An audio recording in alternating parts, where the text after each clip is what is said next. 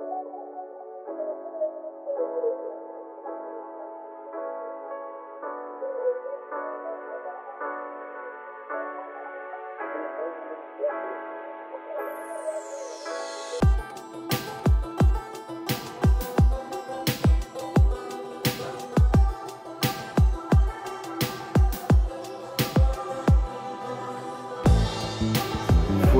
Vengo en Perú para conocer la misión de mi hermano Monseñor, eh, Monseñor Ángel, porque está encardinado en nuestra iglesia y me invita y yo, quiero ver la realidad de cómo vive, cómo vive la, la familia del Perú, cómo es la sociedad, es, porque encuentro ministro, presidente, de, pero lo que más importante es encontrar la gente de, y me fui en barrio muy lejos para encontrar a gente y para sostener, eh, conocer y después sostener las misiones para los niños, para los eh, enfermos, para muchas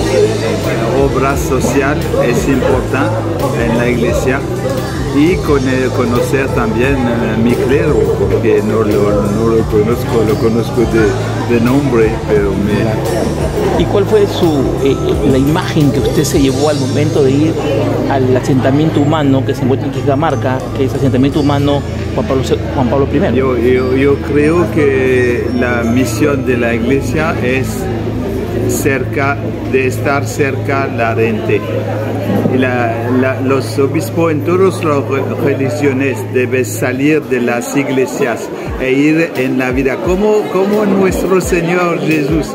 Yo, yo vengo aquí hace muchos 10 mm, kilómetros para venir y para encontrar a la gente, no como, como una, en un papamóvil hacer el no, no, encontrar, cenar con ellos, y, y, es la, me gusta.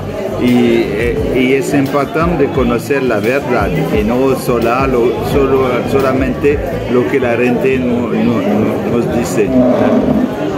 ¿Qué se lleva del Perú usted como patriarca al ver eh, eh, eh, la sociedad, a ver la realidad de Lima en sí y qué mensaje le daría? Yo veo que es un país donde que la gente tiene muchos problemas, pero tiene una fe. Yo veo que la gente ah, tiene, tiene la fe. Cuando camino en la en las calles la gente me, pregunta bendición. En Europa no, nadie me pregunta bendición porque la, fe se, pierde en Europa. Pero aquí yo siento la, la, vida es muy dura. La, gente tiene mucho problema y es un poco más pobre que en Europa, pero eh, la gente tiene fe. Y yo pienso que es el futuro. En, América del Sur, en África, en Asia, son el futuro para las iglesias, porque eh, en América y en Europa tenemos un esfuerzo a hacer, pero seguro que es para el futuro es importante. Entonces, le daría usted una bendición a todo Perú, a todo Lima, porque esa fe me parece que no se debe perder. Sí. Algo así, ¿verdad? Sí. Yo, ven, yo, da, yo doy mi bendición a toda la gente del Perú para que sostener, sostener su fe y que las familias pueden se, se, unan más. Se, se unan más no, no solamente las familias, pero la, la clase política, los, la economía, todo el mundo puede ser unido. Podemos ser unidos en la diversidad, no hay problema, pero respetar uno a los otros y es muy importante. Solamente en el Perú. El patriarcado ortodoxo de naciones es un patriarcado eh, autocéfalo, ¿ya? ¿Qué quiere decir autocéfalo? Que se gobierna a través de un patriarca, ¿ya? Y que tiene derecho canónico propio. Eh, este patriarcado nace más o menos en el año 2012, 2013, cuando se va consolidando, y de ahí a la fecha, ya, eh, esto comienza en Francia, todo este movimiento, cuando la sede de obispos, tanto de Ucrania como los obispos franceses, algunos españoles, ya comienzan a solicitar, a reunirse en un sínodo, que es la reunión de los obispos, para poder eh, llegar a un acuerdo de estas distintas tradiciones que estaban como solas en esta zona. Cuando todos estos hermanos obispos llegan a, esta reunión, uno de los acuerdos es poder eh, formar el patriarcado ortodoxo de las naciones, Iglesia de la Unidad. Este patriarcado ortodoxo de naciones, nuestro, nuestro líder, por decirlo de alguna forma, ¿ya? es el patriarca Nicolás I de Francia, patriarca de naciones. Él, a la fecha, a la fecha de que comenzó, eran 20 obispos, cuando comenzaron, hoy día somos 88 naciones que estamos eh, presentes en los cinco continentes, con distintas obras y donde también recogimos distintas tradiciones, no solamente la tradición bizantina, tenemos tradición de Malancár como en el caso del Perú, tenemos tradición también, eh, tenemos la tradición también, eh, esta palabra que es del norte de Francia, el rito galicano, aparte de, lo central que todos debemos celebrar, que es el rito bizantino, a través de la Divina Liturgia de San Juan Crisóstomo, que curiosamente también hoy día lo celebramos en el monasterio que tenemos acá en el. Uno de los principios de nuestro patriarcado es la unidad, la unidad y la acogida. Lo puedo resumir en dos frases, una bíblica y otra que está tomada de un gran también santo eh, eremita actual. La primera es, amarás al Señor tu Dios con toda tu fuerza, con todo tu corazón y a tu prójimo como a ti mismo. Y la segunda es gritar el Evangelio con la vida. ¿Qué quiero decir con esto? A la pregunta, primeramente, las personas que hemos conocido a Cristo queremos compartir esta alegría, pero es una alegría cercana.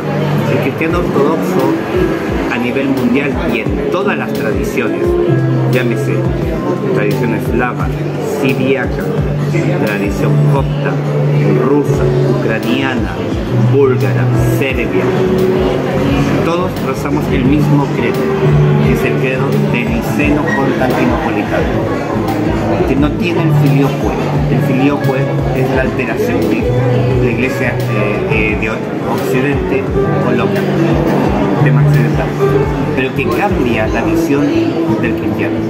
El cristiano ortodoxo y la religión ortodoxa no es una religión de verdad, es una forma de vida. la ortodoxia es una forma de vida. Segundo, somos la iglesia de los siete primeros concilios. Estos siete primeros concilios que se definen en los primeros siglos del cristianismo, son realmente lo que mueven a la iglesia.